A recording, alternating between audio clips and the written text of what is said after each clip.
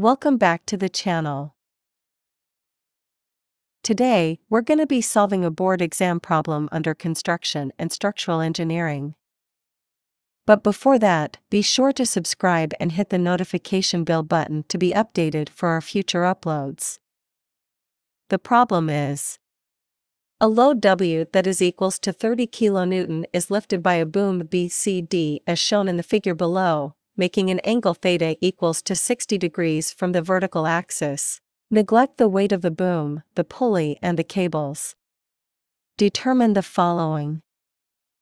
First is the angle beta between the cables AC and AD, point C is in between points B and D. Second is the tension in the cable AC. And lastly, the reaction at point B.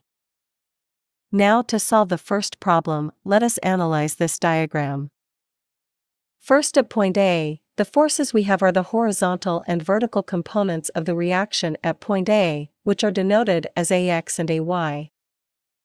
The weight of the block W, that is 30 kN, and the tension force of the cable, denoted as tension AC. At point B, we have the horizontal and vertical components of the reaction at point B, which are denoted as Bx and By, and the force acting on the boom, force BCD.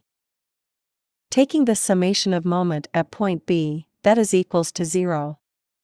This gives us a x multiplied by the length L times cosine of 60 degrees, minus the weight W multiplied by the length L times sine of 60 degrees equals to 0. The length L will cancel out. AX would be equal to the weight W that is equals to 30 kN multiplied by the sine of 60 degrees divided by cosine of 60 degrees. Or we can say 30 kilonewton multiplied by the tangent of 60 degrees. And this will give us a value of 51.96 kilonewton. And then considering the summation of all forces acting on y-axis at point A equals to 0. We have a y is equals to the tension AC multiplied by the sine of beta. And also considering the summation of all forces acting on x-axis at point A equals to 0 we have AX is equals to the tension AC multiply by the cosine of beta plus the weight of the block. And then tension AC multiply by the cosine of beta would be equal to AX minus the weight W, that is 51.96 kN minus 30 kN is equals to 21.96 kN. And then after that, we will analyze all forces acting on the boom only. So we have the horizontal and vertical components of the reaction at point B, which are denoted as Bx and By. The horizontal and vertical components of the tension AC and the tension AD which is equals 30 kN and lastly the weight of the block W. Taking the summation of moment at point B equals to 0.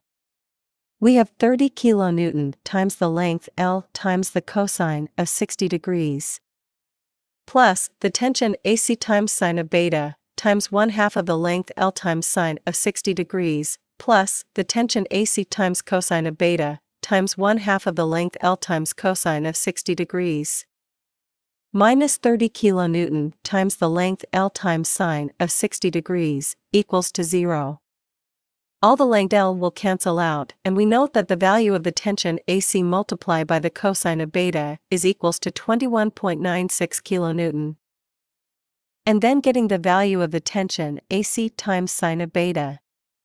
We have 30 kilonewton times sine of 60 degrees, minus 21.96 kN times 0.5 times cosine of 60 degrees, minus 30 kN times cosine of 60 degrees divided by 0.5 of sine 60 degrees. And this will give us a value of 12.68 kilonewton.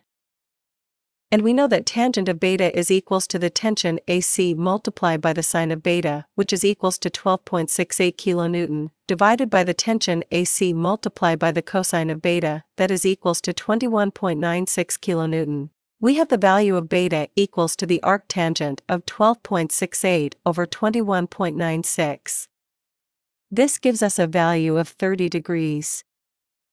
Moving on to the second question, and that is to find the tension in the cable AC, we have the previous equation that is tension AC times sine of beta is equals to 12.68 kilonewton. Then substituting the value of beta, we have tension AC is equals to 12.68 kilonewton divided by the sine of 30 degrees. And the result is 25.36 kilonewton. And then the last question is the reaction at point B. Using the Pythagorean theorem to get the reaction at point B, we have the reaction RB is equals to the square root of the square of both horizontal and vertical components of the reaction at point B. And since Bx is equals to Ax, the value of Bx is 51.96 kilonewton. And then to solve for the By, we have 30 kilonewton minus the tension AC times sine of beta. Substituting all the values. This will give us a value of 17.32 kilonewton. And then the reaction at point B would be equal to the square root of 51.96 squared plus 17.32 squared. And the result is 54.77 kilonewton. And that's it for this video. Please help this channel by liking this video. And to be updated for our future uploads, please subscribe and hit the notification bell button.